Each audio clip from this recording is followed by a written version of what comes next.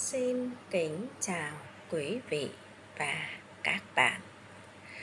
Rất là vui ngày hôm nay tôi được gặp lại quý vị và các bạn và cùng nhau chia sẻ những vấn đề trong cuộc sống.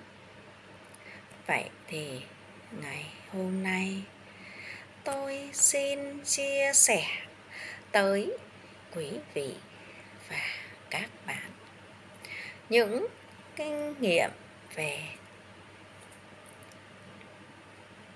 cách vun sới cây trồng các bạn nhé vậy tôi xin chia sẻ tới các bạn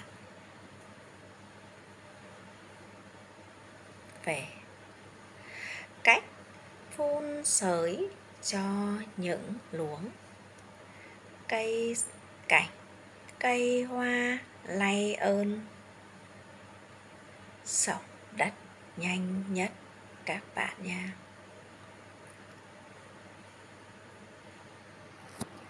Khi chúng tôi đã trồng được những cây cảnh, cây hoa lay ơn.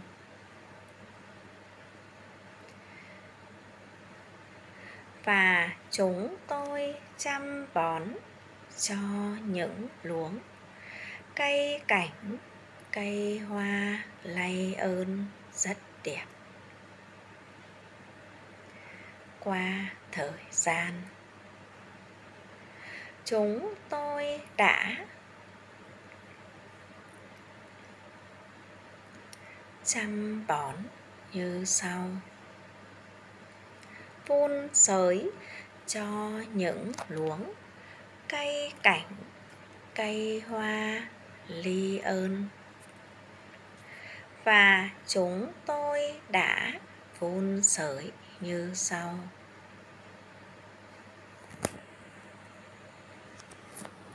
Tôi phun sới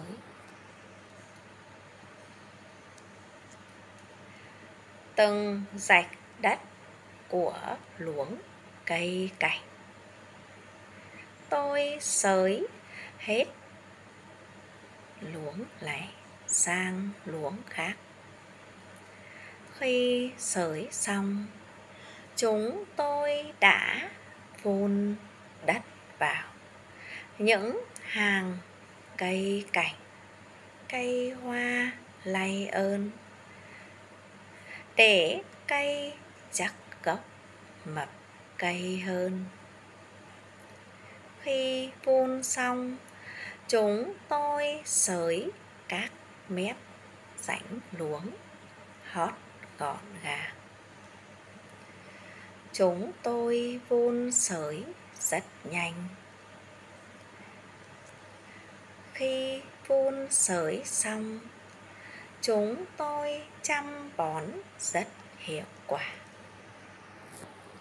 Video của tôi đến đây là hết.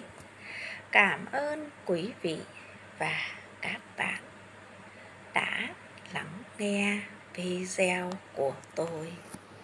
Xin kính chào tạm biệt quý vị và